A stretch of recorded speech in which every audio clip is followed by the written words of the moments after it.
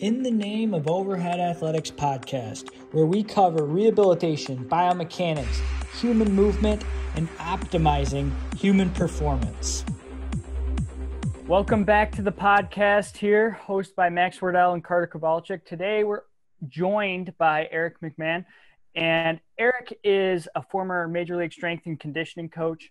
He is a former collegiate strength and conditioning coach, minor league strength and conditioning coach in baseball. He's worked with athletes all across the spectrum, and now he is actually in a role with the National Strength and Conditioning Association as a coaching program manager. And so we're going to get into a lot about the National Strength and Conditioning Association, their certifications and actually a new certification that they're coming out with. But we also want to touch on strength and conditioning across the spectrum of athletes, but particularly with high level throwing athletes. Additionally, Eric has a bachelor's degree in biology from St. Lawrence University. He actually played collegiate football as well, and he has a master's degree in education with a focus in exercise and sports studies from Springfield Springfield College. So, welcome to the podcast, Eric. Hey, thanks, guys, for having me on. Really appreciate it. Yeah, absolutely. So, that was just a brief little uh, introduction on you. Obviously, you've been through the CSCS yourself. You've been through other certifications, uh, you know, weight USA weightlifting certifications and stuff like that. So you have uh, depth of knowledge on different certification processes, but you also have a depth of knowledge as a former collegiate athlete and then as an individual who's worked with professional athletes. So maybe you could just take us, um, you know, on a little journey on how you actually got into strength and conditioning to begin with. You know, what what got you to uh, the major league level, and you know, just kind of your journey. Yeah, so um, I grew up in Burlington, Vermont, and um, you know, I I always say that there really wasn't a lot of strength and conditioning around me growing up, and um, it was I'd say my path was unique in that I had to pursue the field that really wasn't anywhere around me. Uh, University of Vermont didn't have a strength and conditioning program until I was in my 20s. I, I really never met a true strength and conditioning coach until I was in my 20s, and while I was a college athlete. So, um, and, and that means that at the Division three level, you know, our football coaches were training us, um, you know, with with a solid program, but it wasn't a you know there were some pros and some cons to to that training, and that was really my pathway into the field of learning. You know, okay, the, this is what made me better. This is what uh, you know. What I didn't have the answers, but maybe there's a better way out there, and I really pursued that. Um, I think it always kind of starts with yourself. You know, your your passion for uh, making yourself as good as you can be as an athlete or as a professional. You know, not every strength and conditioning coach has a high level uh, athletic background. I certainly didn't. Um, but uh, you know, you you pursue it from where you start. And um, you know, my first job in fitness was I was just a floor trainer at a fitness facility, and um, it happened to be where the minor league baseball team in my hometown did their training. And so uh, I also worked uh, as a parking attendant at that ballpark, you know, growing up as well. So I was around professional baseball. Um, and I remember, you know, I, I would hop in the truck and put out all the parking signs and then I'd be have a little gap before the parking lots opened up and I'd sit in the stands in the uh, what they called the best seats in the house, which were the lazy boy recliners that they put in the uh, on top of the cement seats as a as a giveaway. And I, would sit there and watch BP. And I remember, um, you know, back then they didn't have affiliate strength and conditioning coaches at every level, and when they did, it was it was mostly interns. So.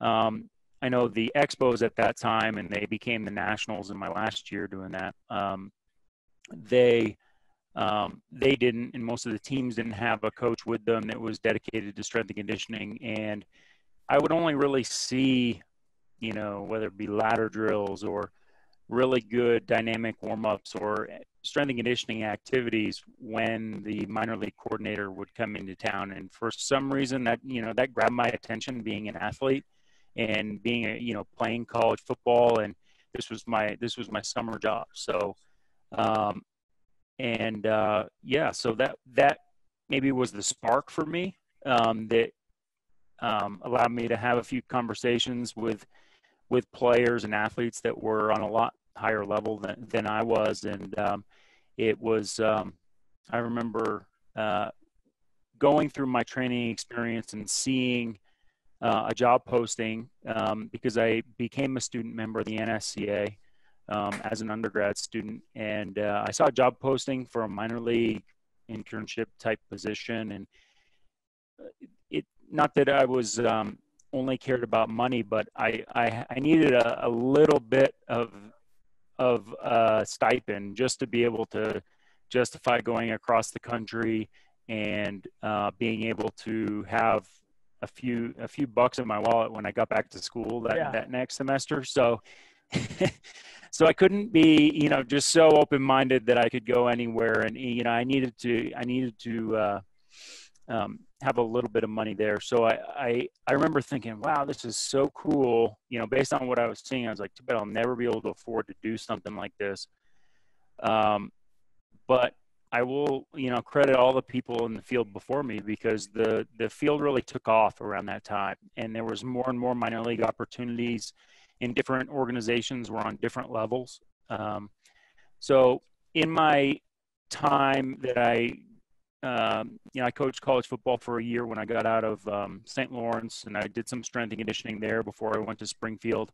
And while I was at Springfield, I um, I met another uh, student that um, had been hired to do his summer internship work um, with the Reds organization, and uh, got me a contact in there, and uh, that ended up just through word of mouth passed my resume along to the Brewers, and um, I ended up being a short season guy there that year. So it got me an opportunity in baseball to to give it a go. But it was one of those things that to that point I'd put a lot of thought into it. So I had a little bit of a career mentality on the front end of that. Okay, I know that I was in Helena, Montana for my first two seasons. I knew that training conditions were not going to be the you know this idealistic you know pristine weight room, you know, perfect strength and conditioning environment. And um, I was I was essentially conditioned to to know that those were some of the pitfalls in minor league. So I you know I credit that,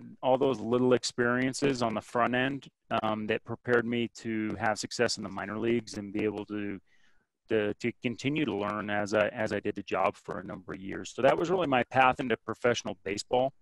And then in this role, um, you know, I think starting at a place where, you know, I didn't have strength and conditioning truly available to me, um, other than the NSCA, I, I can really give credit to the NSCA and say, you know, that career path and that track that was on the website at the time. Um, you know, I always give credit to Allen Hedrick. He was a, a column editor in the um, Strength and Conditioning Journal at the time. And when I started getting those journals, um, I always read his his column, you know, and and that made and he wrote about a lot of different uh, topics over the years, and so um, to me, um, those experiences early on paved the way for me to develop a, a, strong passion for this this profession and the career path, and and now that I'm uh, in my 30s and I, I have a family, and now I start to think of this uh, a little bit more longitudinally and about you know sustainability of the profession. And you know i don't want to i don't want this to be a profession that is only for um, low paid individuals in their in their 20s or fresh out of college you know? Right. I, I i want this to grow and, and, and improve and and i think there's there's a great group of professionals in our industry that say hey we're not going to complain. We're not going to um, back out, we're going to actually step up and um, try to make a difference and try to be the difference for this next generation of coaches, sports scientists, um, other professionals that the NSCA can help. And so we always um, strive to be as available as possible to to all of our members, all of our certificates, and um, that truly is just my path in the field to this point. And um, yeah, I, am really passionate about it, and uh, I like talking about it. So. Yeah, and you know, maybe you could touch on this. I I don't know if you've come across the book, but uh, there's a book, uh, CEO Strength Coach by uh, Ron McKeefery, and you know, I've never been in that sector, being in the private sector, but you know, reading that book and then kind of seeing, okay, here are the the difficulties and here are all the things that you know he had to do to get to where he's at in the profession. Um, you know, it sounds like you know you had some uh, good opportunities present themselves, but maybe you could you know touch on that. Um, you know, for anyone that is aspiring to be a strength coach uh, in the capacity that you were um, in baseball or or in any professional sport or collegiate sport. Yeah, um, yeah, I read that book. Coach Mack does a great job of communicating to young coaches in the field about sort of the journey of of what a strength and conditioning coach goes through. Um, you know, I, when I when I see Coach Mack at our conferences over the years, and he, you know, he's always, you know, hosting a roundtable or or just he, he's got such a huge network. And you know obviously he wrote that book. I think that's one lesson that you can take from some of the more experienced people in our field is that you need to develop your network um, and mm-hmm. be willing to continue to grow that network. Um, he you know and so it doesn't matter um, and in this role you know it doesn't matter for me if if i have a young coach that doesn't have their cscs that's pursuing the field that gives me a call or someone with 30 years in the big leagues, it, it really makes no difference because you know we have current leaders in our profession and we have future leaders in our profession. And that's the way that um, that I, am fortunate that I can see the field uh, in that optimistic uh, way. And and and I I really uh, I'm passionate about those young coaches and, eh, that they have a track to pursue um, higher level professional roles in in in there in this field. So, um, so the network aspect is is one area. Um, making yourself available, communication skills, um, that that whole CEO strength coach uh, mentality. Um, also, I think being versatile in this profession and COVID right now, there's a lot of professionals out there struggling. You know whether uh, especially in the private sector, but you know even at academic institutions, and there might be a lag at some of those institutions in terms of how it impacts jobs. Um, I know professional baseball has been impacted, um, and uh, you know it's it's a huge challenge that we're facing right now. Um, but being versatile in that you know we we in strength and conditioning are unique in that our our craft isn't sport specific. It, it goes, it, in, in, a way, it's very sport general. You know, I'll credit uh, Mike Boyle with that term, you know, when he came out with the book, uh, Functional Training for Sport. You know, functional training is not sport specific, it's sport general.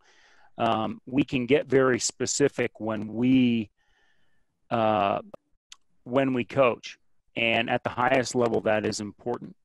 Um, but as strength coaches on the front end, that base knowledge and that base um, uh, experience level that um, that we get is very general across the board. That works for a number of different sports and a number of different athletes. And um, I'll credit, you know, being from Vermont, and I mentioned this to you guys off the air. You know, you know, being from Vermont, I could get by on a marginal athletic ability and call myself a multi-sport athlete, but but I dig from those sports. You know, um, there's a lot of connections between lateral movement in baseball and lateral movement in a sport like hockey or or any other sport.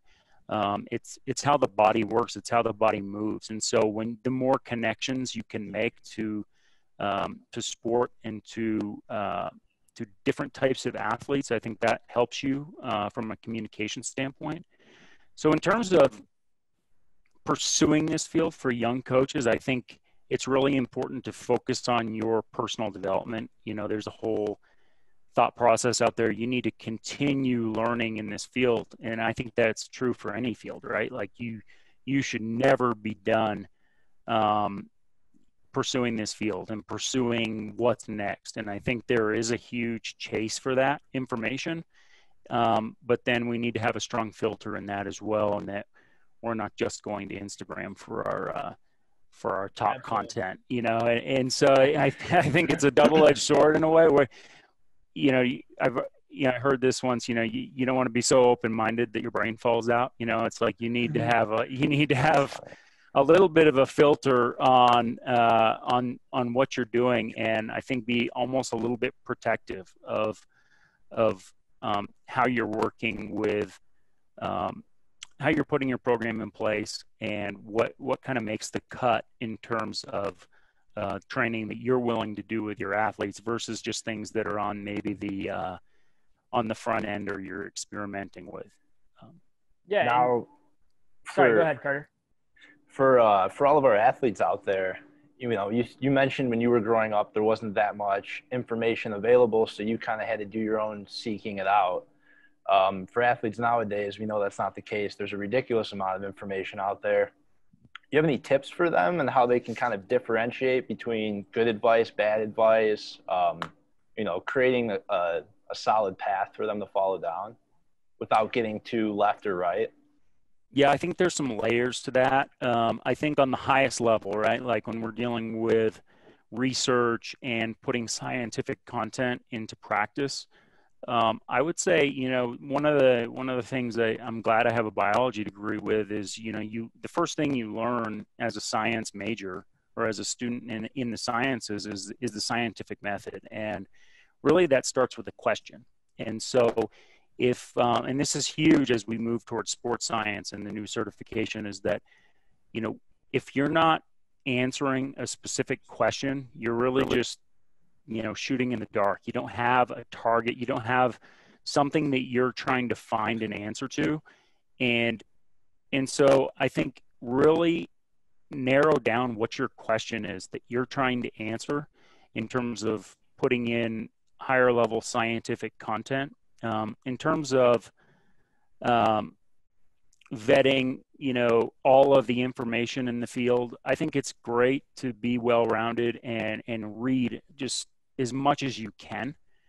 Um, but I would say double down on application is is double down on application and that don't just read it. I mean, it might come from Instagram, it might come from Twitter, but if it's if it's good if it's really going to help you, you need to uh, put it into it. practice, speak yeah. it, do it. Yeah, you know, get on, you know, and that's something that you know a lot of coaches, and we go back to Coach Mack. You know, you know his his his career. He has a long career, right? But you know he's speaking now and he's writing a book now and he's he's putting that stuff out there on a very uh, mainstream level and I think we are communicators by trade. You know, we, uh, your voice is your tool as a strength coach. You need to be up in front of a group, you know, from the time you're warming the group up, you need to be able to have that group and that one-on-one rapport. Um, Absolutely. And so, um, developing your your skill set as a speaker um, you may not think of yourself as a public speaker. A lot of people, that's their biggest fear, right? Like getting up in front of people. But if you really want to be great in a field, not just this field, once you find that information, wherever you find it, you need to polish it and prepare it so that it's uh, accessible um, in your short-term memory that you can that you can dig dig from. You know, um, whenever uh, whenever you need it and um, really communicate clearly um, on a, on more of a mainstream level that uh, and I think those I think those are important skills for all professionals and and I think the other takeaway is we are not insulated as strength and conditioning coaches.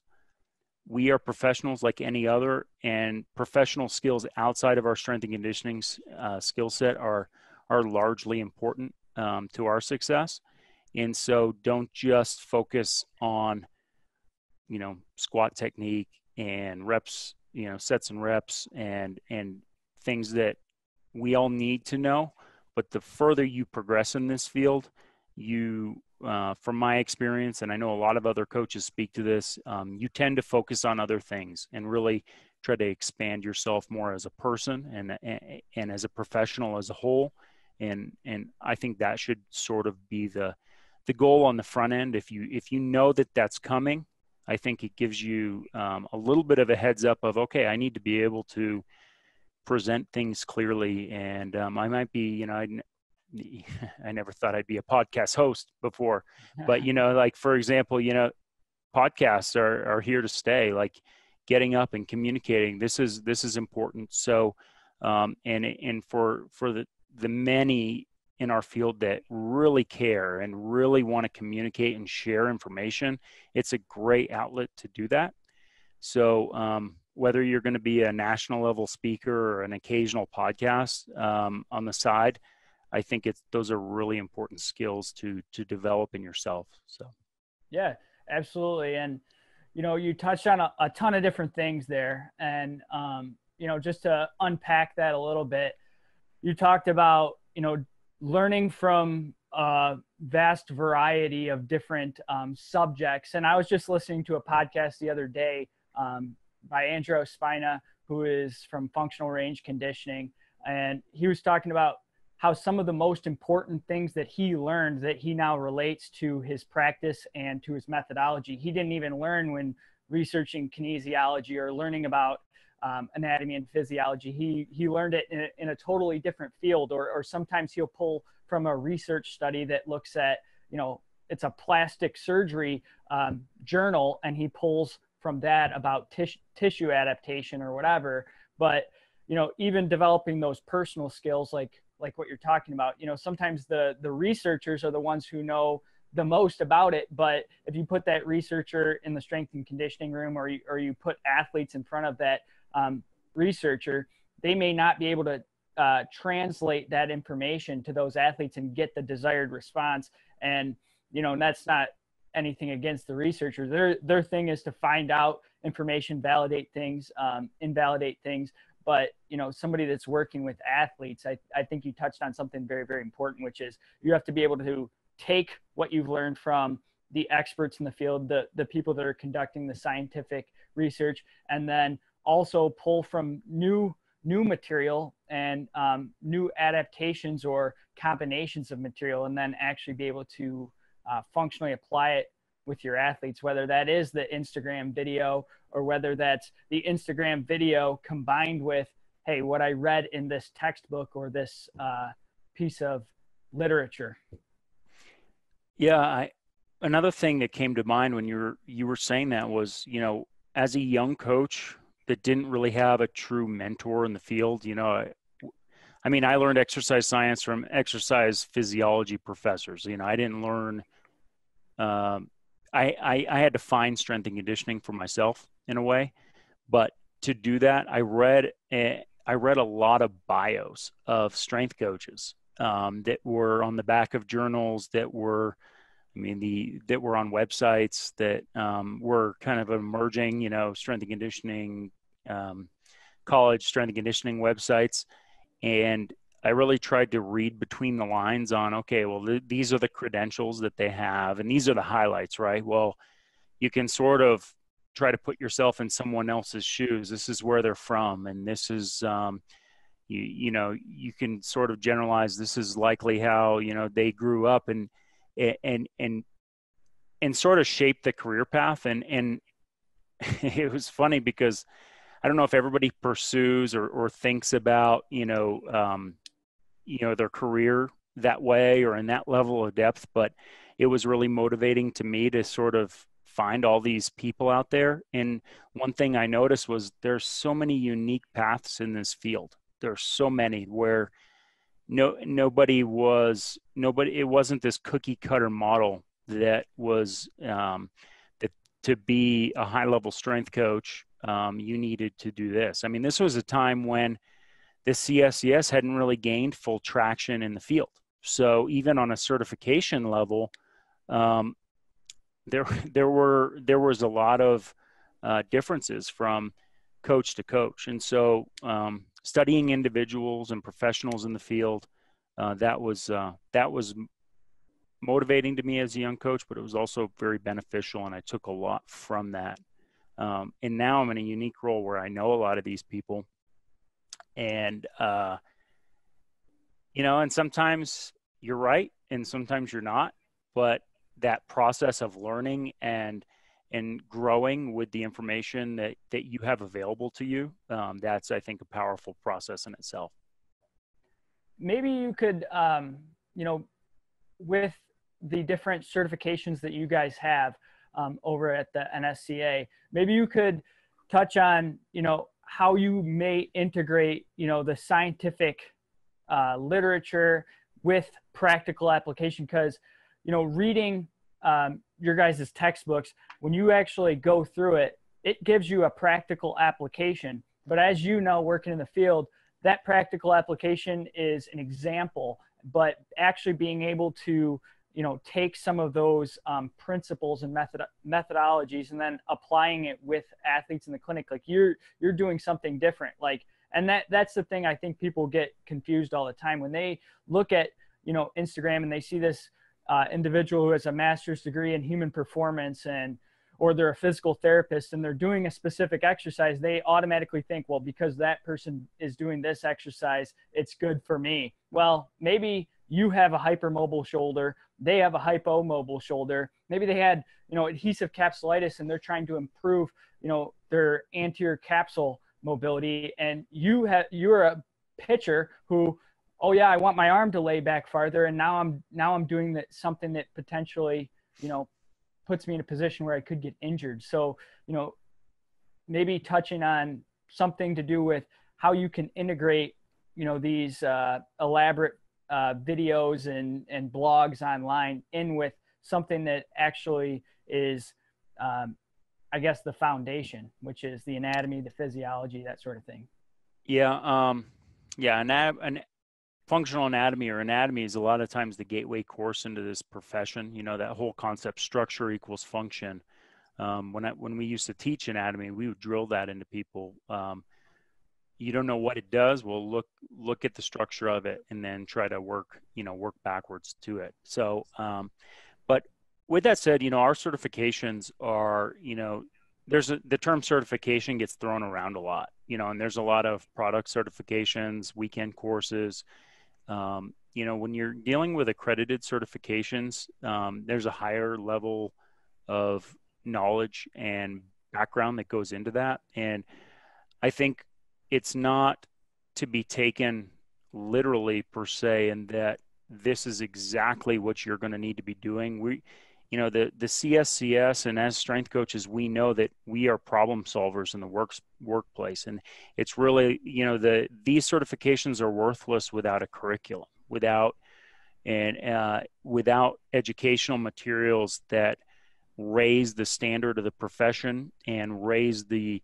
uh, the the level of professionals that pursue that track. So um, I think it really starts with you know there there's a reason that you know we continue to update editions of the essentials text. It's not it's not the same strength and conditioning that it was uh, when the first edition was released, or when I took the CSCS, it was the second edition.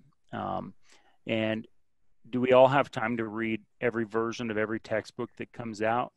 Uh, probably not, but there are significant upgrades, and I, I just know from my current role and that I have one on my desk right now that there are sig- significant updates from uh, version two to version four, and I think that is um, that that's the true spirit of you know the growth of our profession. Now, uh, it it really is like thinking of yourself as a problem solver and it, and really diving into okay well i'm working on speed mechanics now.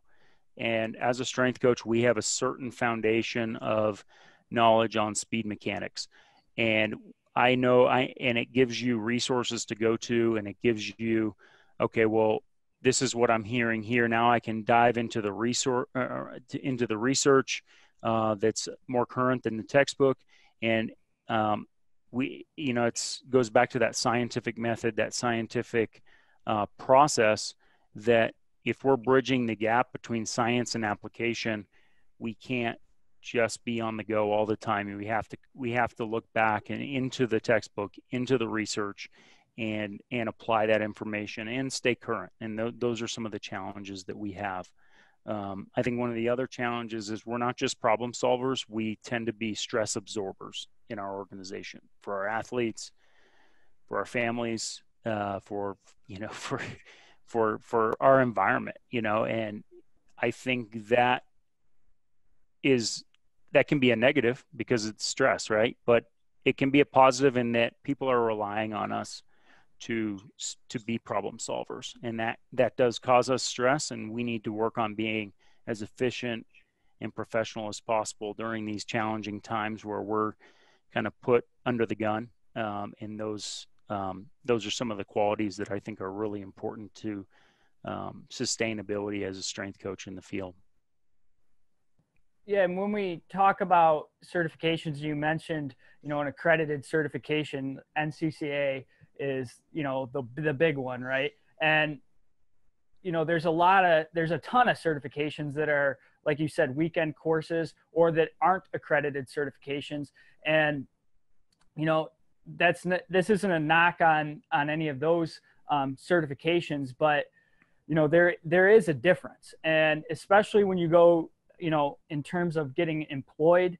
Um, you know, especially if you want to work in the field at, at any high level, but also in developing your foundation. And, you know, a lot of these um, courses that aren't accredited are more of that you know you've been they're almost assuming that you've been through an accredited course and you've been through some form of formal education prior to you know enrolling in it and it's a adjunct to what you have whereas you know i see a lot of people um, you know online you know you see people on linkedin you see people on twitter where it's like you've almost missed the formal step in the progress or in the progression which allows you to kind of experiment with different things because you understand what those things could potentially do and the implications of them. Yeah, I, agree. And, you know, the CSCS is, it's an overarching strength and conditioning certification that doesn't limit you in the ability to use kettlebells or perform Olympic lifts or um, other specific areas in, in the field that doesn't mean there aren't other experts out there and other governing bodies that have great information to share. And, and I think as educated professionals, we need to be as well rounded as possible. And yeah, I took the USAW course and um, a couple times actually, and uh, in, in a number of different certification programs over the years. But another, I think one of the big things that I've learned in this field is more than any certification, we are a tight knit community in this field, and there's nothing wrong with going directly to the source. You know, and I when I wanted to learn VBT, um, you know, I, I found contact information and and sought out Dr. Bryan Mann because he was the guy that wrote the book on it, and and pursued my you know pursued that uh, by going to the source, and so um, if if if a non-accredited certification is valuable to you, do it. I mean, go for it. Um, but I think just because the term certification gets um, used very broadly, it, it, just means a lot of different things in different contexts. Um, I, you know, I, I, think we just need a little bit more understanding um, of that. And and there, and this isn't um, the fault of the practitioner at all. I think internationally there's different terminology that gets assigned to accreditation and certification and how things um, are delivered. So that's something that I, that I had to learn just in in overseeing the sports science program, the CPSS program that's coming out in 2021. Is um, a lot of the early steps were founded on some of the materials and things we were learning from um, ESSA and BASES uh, in Australia and the UK, existing organizations that were delivering sports science internationally. So I learned a lot about accreditation and certification through through that um, research, um, and uh, I just think no certification, uh, no letters after your name are going to solve all your problems. We need to be we're the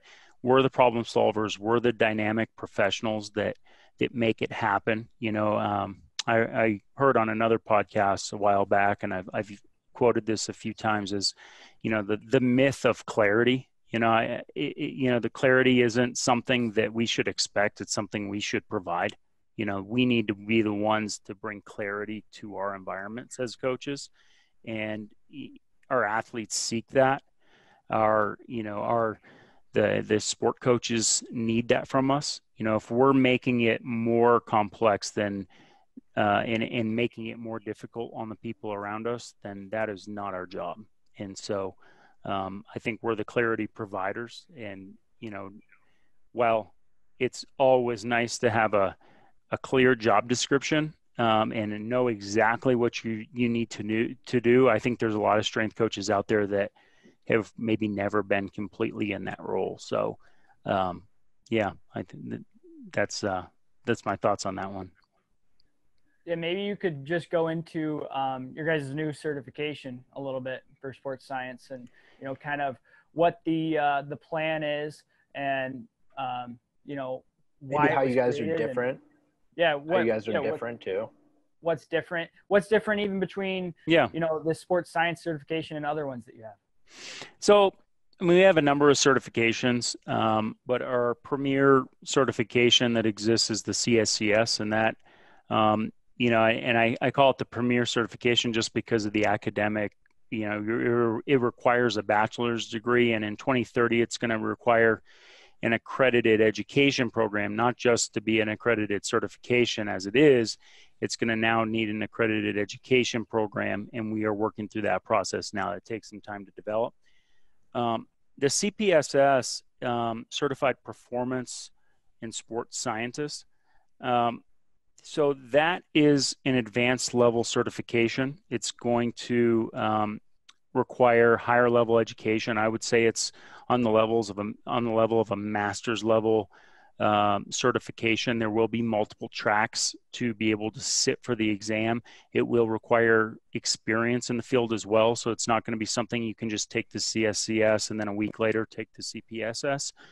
Um, it's a higher level thinking, and I think the simplest way to describe sports science, um, I'll say two things. You know, a strength coach is a sports scientist, but not all sports scientists are strength coaches.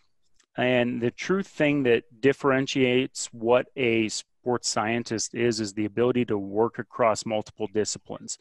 If I say to you guys, you know, Carter, what you know, what is a sport scientist? I think our how we explain that and how uh, how we define that, it, there's going to be a lot of variability there. And so I think it's um, I think it's important to recognize there's different kinds of sports scientists. You know, uh, in in our program, we've narrowed it down to the researcher, um, uh, academic uh, sports scientists, uh, the practitioner sports scientists, and then the technology and data sports scientists. And then within those categories, I mean, the practitioner circle under uh, sports science is is huge. It, it does include our CSCS strength coaches. It includes physical therapists, uh, athletic trainers, mental skills coaches, dietitians. Um, I can think of a number of individuals in the field that maybe start as an RD and now they're the director of player development, or they start as a strength coach and now they're the senior director of um, health and performance at a major university. So I think that we've never had a track before. Those those types of progressions are unique and they stick out because the CSCS doesn't prepare you uh, in entirely to pursue a higher level role. Um, it's more the experience factor. And so this is a, a more advanced look at some of the current technology, um, load management strategies, and uh, an advanced level look at how to pursue some of these advanced level uh, roles in the field, and also uh, represent just the current level of data and analysis that is being utilized in sport um, beyond the weight room floor. And so I think um, that doesn't it doesn't take away from our um, CSCS audience. I think young coaches that have their CSCS or or um, mid-level professionals that are seeking advancement, this is going to be a really powerful track to pursue. Um, but it's not going to just be uh, strength coaches. The RSCC program our, our most experienced um, strength coaches in the NSCA community. That's still going to be a um, highly emphasized program in terms of uh, the coaching ability, and it still will be our premier strength coaches. Um, I think this is more for the analytical, uh, the, the, very analytical strength coaches that want to pursue um, a higher level of that scientific method approach towards problem solving. Um, another, and this is something that I think connects with overhead athletes because there's a lot of technology out there that um, relates to um, angular dynamics, uh, angular velocity, um, shoulder range of motion, all these different, you know, the K vest and all these different pieces of technology. Our field, you know, I uh, talked to Dan John a few weeks back, and I, I think of when he wrote the book Easy Strength, and you know that push pull hinge squat uh, carry type uh, it's a very foundational approach and athletes can get better that way right? You know so i think that foundational approach to strength and conditioning doesn't go anywhere and there's so many athletes that will get better on that. There's also a, a more integrative and um, very sports specific approach we see uh, in the field right now and that is um, very prevalent in the baseball world where we're looking at specific swing patterns or um, arm slot uh, in, in, in really trying to train the specific movement um, of high level athletes. I think often this integrative approach gets assigned to advanced level athletes. And so I think that's a good example of how through the progression as a strength coach, we start as generalists, and then we uh, we often get more specialized when we're dealing with more advanced athletes that need those special, um, special that specialized level of training. And so, uh, certification like the CPSS is a little bit more in tune with that integrative approach towards training, where you're you're you're crossing the barrier into um, what you might see in the training room um, um or uh, with in a PT clinic or uh, in in terms of scope of practice. Um, that doesn't mean that it's it's a license to practice in those areas, but it's more of a the knowledge base to oversee and oversee a department that um, that includes that area. So um, that that is one example of where the CSCS is still extremely valuable. It will be a pathway to the CPSS, I think there's going to be multiple pathways, and we're going to build some ancillary materials that allow other practitioners into that CPSS space. Um, researchers, we're going to really, um, they're already sports scientists in their own in their own right, um, and I think, but that's the gateway to train the future generations of sports scientists um, in the United States um, with a little bit more clarity as to what that job is. And so one of the other ancillaries that we're building is an educator supplement that will reflect the textbook and basically building out a undergraduate and graduate level course uh, for sports science, similar to how things progressed with strength and conditioning. So um, number of different, you know, the key elements are the textbook and the certification, but there's a number uh, of different other areas that we're focusing on to deliver this in a way that um, builds a curriculum for the field to advance sports science as a profession. Um, similar to how we've done with strength and conditioning, but we can learn from that as well because strength and conditioning still has a long way uh, to go, uh, and there's a lot we can improve there as well. So um, I think it's important that we we continue to grow on both fronts. Yeah, and it's awesome. You, yeah, I mean, really, I mean, the thing that I like is you guys are kind of integrating it with like uh, the colleges, and you talked about, you know, the CSCS and having, you know, accreditations for different college programs, and basically, you know, they have this problem uh, in the RD community registered dietitian where, you know, there's a lot of individuals with advanced degrees um, in nutrition sciences and things like that that aren't that aren't registered dietitians because they didn't um, complete the bachelor's degree that's accredited. Is there any way that hey, you know, I went and got an exercise science degree. Now I'm pursuing my master's. You know, are you guys considering those types of things as you know? Just jumping back to you said your 2030 plan um, for the CSCS. That's a great question. I think one of the challenges with the CPSS and and really restricting it is that um, and I, and I don't have a clear answer on this because it hasn't. We're still working on some of these areas, but I think one of the challenges with really restricting um, who can uh, sit for this exam is that sports science is uh, is an even broader profession than how I described uh, strength and conditioning with the number of backgrounds. I mean, you might have uh, a background in biomechanics or math, data, statistics, uh, engineering. Um, there, there's so many outside areas that maybe we wouldn't consider um, to be performance and sports scientists, but are have a place at the table right now, and contribute uh, with that knowledge set. Uh, we need people to implement the tech that creates AMS systems, and you know, tech is a huge part of sports science.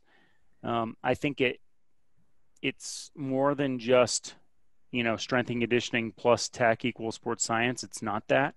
It's um, but tech is helping us solve problems that we haven't that we've had the knowledge about. You know, sports science is not defined much differently than it was 20, 30 years ago, but the tech has made all of, you know, whether it be HRV or any of these types of measurements much more accessible. And so, um, in including a little bit broader audience uh, in the sports science community, I think is really important. Um, and that's something that we are uh, working through right now in terms of how to keep this a, a high level, um, but not slam the door on people that really can help shape this industry and make it better um, in the future. So there's there's definitely some some long term strategic planning in place. And you know, with that said, you know this has only recently become public, but early stages of this, project go back to 2018, where um, you know, top experts in sports science from around the United States were brought into the NSCA for a for an initial panel conversation to really get to the um, get to the core of what this needed to be. Um, and this was a third party study that was uh, was implemented, and we described that on our on our uh, CPSS website, uh, nsca.com. And it's um, I think that's the way we are approaching this. In that you know, we we were going to launch this next year, and, but it's going to continue to de- develop and grow, and it's going to uh, impact the field for a long time. And um, to do that, it, it can't be a very it can't be hundred percent this rigid thing that has no potential for growth. Um, and I think most people can connect with that just in their own um, programs that there there needs there there is a dynamic nature to any program or any certification that this is going to evolve um, just as the field will evolve and grow awesome. Awesome. Do you guys have any future plans for nutrition like sports nutrition certifications through the nsca um, so i would say if you're a rd or or or a nutritionist that is you know, the CPSS is a great track for you to pursue a high level uh, advancement within the NSCA community. You know, like I said, that in, in RD as a practitioner, sports scientist, just as a strength coach is, they, they just have a different level of expertise and a different um, a different knowledge base in a, one specific area. Um, but I know in the RD, um, the I know in the RD community, there's a lot of great uh, dietitians that know strength and conditioning or have their CSCS. And so I, um, while there aren't plans to have a specific nutrition certification, um, similar to how I, you know, think of the CSCS as an overarching strength and conditioning certification, uh, I think the CPSS is going to include those um, those advanced level RDs that want to pursue higher level roles as well, but not not specifically on the nutrition side. What kind of program are you are you guys looking at? Is there going to be a course? Is it going to be similar to structure to the CSCS? Um, is there going to be, you know, I know you, t- you just briefly mentioned, you know, having some uh, college courses. Um, that may pertain to it in some way or be orchestrated or curriculum designed by you guys? Yeah, um, it will be an exam um, that you need to qualify to sit for. Um, it, you know, similar to all of our exams, they'll be hosted at a testing center. Um, the format of the exam will be uh, likely different than what you've seen on our other exams, but you know, in, in, in the spirit of a testing center and multiple choice questions and those types of things, mm-hmm. I, I, think that it will be a consistent format with what people have seen. Um, just more the delivery of the content and the, the type of uh, material will be on a little bit higher level than um, than the CSCS exam.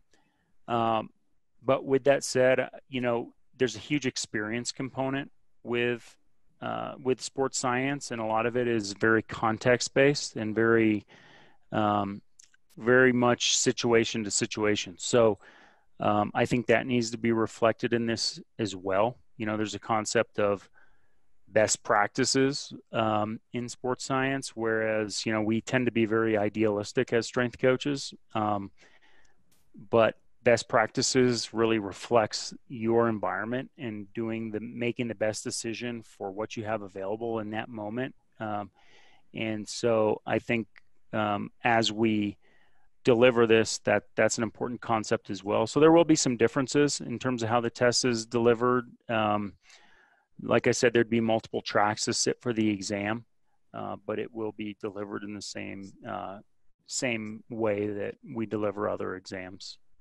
awesome. did you did you say a release date when can we expect the cpss uh, quarter one uh, to 2021 i would awesome. say in that you know February March range is uh, at least for the textbook. We we expect there to be a one to two month lag on um, on the exam just to give a little bit of time for preparation. Right. Uh, but that's that's intentional. So, what kind of um, you know you talked about different tracks um, based on education level, and then you talked a little bit about how different um, professions may have you know different avenues uh, through the CPSS. In terms of you know study time, you know things to start looking into at this point. If someone's like, hey, you know this is this is what I want to do. Do I wait for the textbook? Do I um, you know pursue something else through the NSCA? Is there is there another um, uh, resource that I could you know begin looking into that sort of thing? Yeah, um, I actually got that question um, this morning from someone else. Uh, that's a great question. It was someone pursuing their CSCS, and they're like, and they were uh, professional uh, already internationally, and it was, should I just wait for a year and sit for the CPSS, or should I get my CSCS as a track into into this? And I and I think it can go either way. You know, um, do you need to have your CSCS to be a sports scientist? No, but um, I think strength coaches add a lot to the sports science space. And I think that background, um, we tend to be the the generalist that works across you know multiple departments as strength and conditioning coaches anyway. So I think it is a great track to to to go that route. Um, and I and I can say that as the coaching program manager. Um, you know, in, in my role, I think, you know, the the skill set of coaches. You know, there's a lot that we've been trying to convince the world of for for a number of years. But this is a perfect example of, I think, strength coaches will thrive through this program um, on the practitioner side. Um, but in terms of yeah, there will be multiple tracks. I think there. Um, I think it's important that um, you know we keep you know that we keep some level of broad entry level um, for to sit for the exam or broad, you know the prerequisite requirements, but it, it will be a high level exam, and so um, in terms of materials, I would say um, similar to uh, similar to how we would approach studying for a CSCS, I think programming and periodization is going to be a concept that um, is touched on. I, uh, you know, load management um, is is a huge part of sports science, but that is um, one of those terms that can be interpreted a lot of different ways. And I think just like all of our certifications, you know, prepare yourself as a problem solver. So whether you're working on force plates or whether you're using a linear encoder or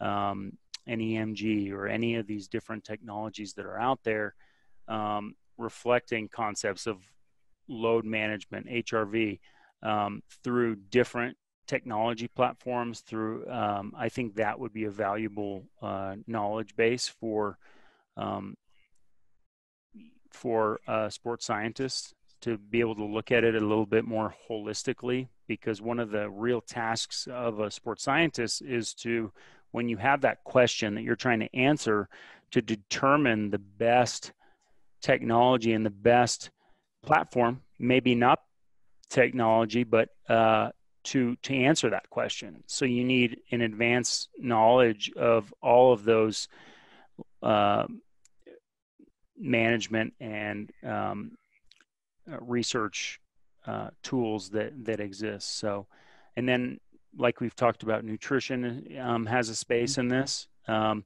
so you know, in a way, you know nutrition psychology all these other areas those are in the essentials text and the current essentials text for the cscs is um, has been updated a number of times. So i think that um, that's not a bad place to start before the uh, essentials of sports science textbook comes out and um, that will be in 2021 so it'll it'll really take it to the next level and uh, a little bit of a snippet of some of the materials. And there so there is um, i encourage all the listeners to join uh, if you're on facebook join our special interest group um, sports science and performance technology. Um, you just answer a couple questions you'll get brought into the group. There's a lot of um, say spoilers in there including an outline for the textbook not the full chapter list but um, that'll come out later as we get closer to publication. And it'll give a little bit more of that information that um, that can help steer early studying um, the, and i think it'll help the process there. Awesome. You know i think uh, what you guys are doing is awesome because the profession really needs something like this that can um, you know almost uh, take it to the next level. And I, I i'm totally with what you're saying where there's a there's a diversity of uh, you know perspectives in the profession, and I think that an interconnection between each uh, different portion or each different uh, subsection of the strength and conditioning field or even the human performance field um, needs to have an understanding of the other the other uh, aspects as well as you know how they can optimize um, what they're doing to fit into the general scheme. And i know that's something we've talked about a ton just with you know physical therapy and strength and conditioning integration because you have these athletes come through physical therapy. They need to be discharged insurance is only going to pay for so long. They need to go to the strength and conditioning professional and the integration um, you know and i just got uh, sue falsone's book about you know bridging the gap between rehab and performance. And you know this sounds like not only that but you know an added layer, which is optimizing what you're doing with the current science, and then ultimately, um, you know, advancing uh, your career, but also um, your effectiveness um, with athletes and your understanding of the whole continuum there. Another thing is there's always going to be high resource programs and low resource programs. And a high resource program is one that you're going to have a dedicated sports scientist. You might even have multiple. You might have a biomechanist and a, uh, someone doing physiology testing or um, motion analysis or all sorts of technology in play, right? Um, but then there's going to be programs, and you know I can speak to it as a Division three athlete where you know you might have one strength coach or or you might have one or two and the, the assistant strength yeah, yeah. The coach is the strength you, coach. Well, and, and that too. But you, you know, there's going to be situations where that assistant strength coach becomes the de facto sports scientists on staff just because they want to use a piece of technology or they and, and to to what that's worth, I think this program is going to improve the level of education we get as sports scientists, whether your role is as a strength coach or as a sports science coordinator or generalist in the field of sports scientists, or whether you're a professor working as a in a practitioner role as a sports scientist. So it's going to, um, I think that curriculum and the knowledge that goes along with it is just uh, maybe more valuable than just the, the credential itself. Um, because I think that's what's going to st- help steer the, the clarity of the field um, towards this inclusive and integrative uh, model that we've been talking about. Yeah, absolutely. You know, on this podcast, I kind of wanted to get into, you know, strength and conditioning for, you know, the throwing athlete, but I think we're going to have to save that for the next time. We've gone into a ton of depth here, which is what I think people are, are really looking for. You know, I've, I've had people texting me. Um, it was like, "Hey, did you hear NSCA is coming out with a new certification?" And this was like the day after I saw your uh, your LinkedIn um, post uh, where you threw the link up and stuff. So I was like, you know what, we need to uh, we need to find out a little bit a little bit more here. And I think this is the type of information that people are kind of looking for on it. And I'm I'm happy that you guys are doing it because, you know, I'm always looking for more education for myself, but I always have people that are, you know, in their undergraduate studies is like, hey, what what you know should I aim for? What should I shoot for? And so um, you know having something of this of this magnitude and kind of having a uh, multiple pathways into it is, is something that that we definitely need. So um, you know just to to wrap up a little bit here um, you know i've asked every guest so far and carter's asked every guest like what is one thing that you would leave the audience with um, you know as a professional whether that's a physical therapist which is a large percentage of our following or a strength and conditioning coach or somebody that you know works in the private sector um, more as like a performance specialist. What's what's one thing based on your experience that you would leave them with if that's possible?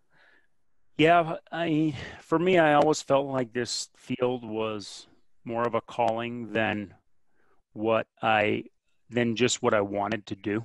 Um, you know i think there's a lot of fear in this profession. There's a lot of how am I going to be able to support my family? Or, you know, I'm, I'm moving right now. I'm in the process of moving. I'm, uh, if I, if I lose my job, I'm going to have to move cross country for another one. What, you know, what those, um, I remember my first two years in baseball, there was, um, there wasn't a lot of coaches coming back.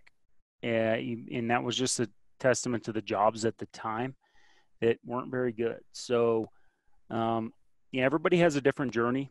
And, and I was talking to a coach recently who had about five, six different stops in the time that I was with the Rangers over 11 seasons. So um, I, I really feel for, for those coaches that have struggles in their journey. And I, I in this role, I, I love my favorite part is just being able to connect with coaches and be an ear for you know the struggles that coaches are going through and um, actually have a position that i can uh, try to make that better and if i can't make it better for for you in that moment maybe i can help to make it better for that next generation or that next coach that has a similar type situation and and that's what i'm really motivated to do in this role so i'll leave the audience with that um, my uh, awesome. my contact information um, yep. eric dot McMahon at nsca.com. I'm also on social media, Eric McMahon CSCS. That's Twitter and uh, Instagram. And then I'm also on Facebook with the um, special interest groups, as I mentioned before. So I'm easy to track down, even on LinkedIn, like you guys did. And uh, yeah, so. Uh, Could you throw I, that name up for that special interest group on Facebook one more time? Yeah, it was uh, sports science and performance technology. It's a, awesome. the newest uh, NSCA special interest group. Um, so it's uh, we have 860 members as of this morning, and it's only been up for uh, a couple months, so that's that's really fast growth for us for a SIG and, for us. So um, it's growing quickly, and there's over 30 countries represented in that group, which I'm I'm really proud of. I think it um, I think that's really exciting for the program. So yes, awesome. Thank you so much uh, for coming on the podcast. I really appreciate it. I'm I'm hoping we can get you on again at some point to you know yeah. talk more about the ins and outs. Um, in the profession and and working with throwing athletes. Carter, is there anything else that you wanted to uh, touch just before we sign off here? No, no. I really, I just, I like his very diverse uh, perspective on things. You know, coming from a, I was educated by the Jesuits. they preach, you know, you have to exhaust all your options to make sure you're on the right one. So, you know, it sounds like a little bit of what like you that. do in the weight room, when as well as your education, and you know, it was it was really refreshing to hear. And I also I love the idea of, I mean, your CPSS could be the, you know, a, a big connecting link from amongst all the inner professions. So yeah, really exciting I mean, stuff. I think it, forward to it. I think if we think of it as a unifier, uh, yeah. it, it, it, it can be right. But if we right. don't give it that chance to be, then, then we're not going to get there. So, right. um, but yeah, really appreciate you guys, Max Carter. Thanks for having me on. Uh, yes. Thank pleasure. you. Thank you a ton. I'm Max Wardell. Carter Kowalczyk. the name of Overhead Athletics. Signing off. Signing off.